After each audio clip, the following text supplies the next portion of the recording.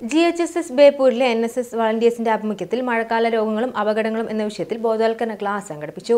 Principal Prasad ഉദ്ഘാടനം ചെയ്തു. Headmaster Ahmed N S S programme officer Naseema Siddique Sunil Jayasree Chitra Sheeja Praseena തുടങ്ങിയവർ സംബന്ധിച്ചു.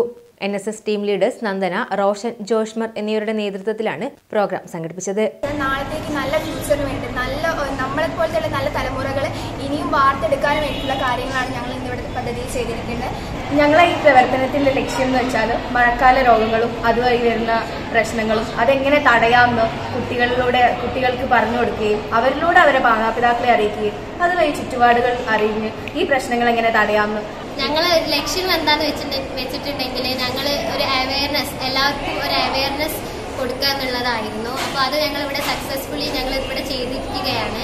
ഇതിലൂടെ കുട്ടികൾക്ക് ബോധവൽക്കരണം നൽകുക മാത്രമല്ല ക്ലാസ് എടുക്കുന്ന കുട്ടികളുടെ അന്വേഷണ ബുദ്ധിയും കോൺഫിഡൻസും വളർത്തുക എന്ന ഉദ്ദേശവും എൻ എസ് എസ് ടീമിനുണ്ടായിരുന്നു. മഴക്കാല രോഗങ്ങളെ കുറിച്ചിട്ട് ബോധവാന്മാരാക്കുക എന്നതാണ് നമ്മുടെ പ്രധാനമായിട്ടുള്ള ഉദ്ദേശം.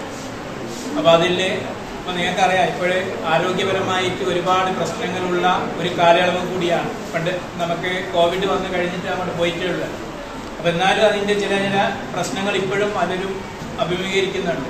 അപ്പോൾ അതോടൊപ്പം തന്നെ ഈ മഴക്കാലത്ത് സാധാരണയായിട്ട് ഡെങ്കി ഫീവർ അതേമാതിരി തന്നെ ആ മലേറിയ അതേമാതിരി തന്നെ ഇപ്പോൾ വൈറൽ ഫീവർ വ്യാപകമാണ് എല്ലാ സ്ഥലത്തും. പിന്നെ അതേമാതിരി തന്നെ പ്ലാഗ് അങ്ങനെ കുറേ പ്രശ്നങ്ങളുണ്ട്.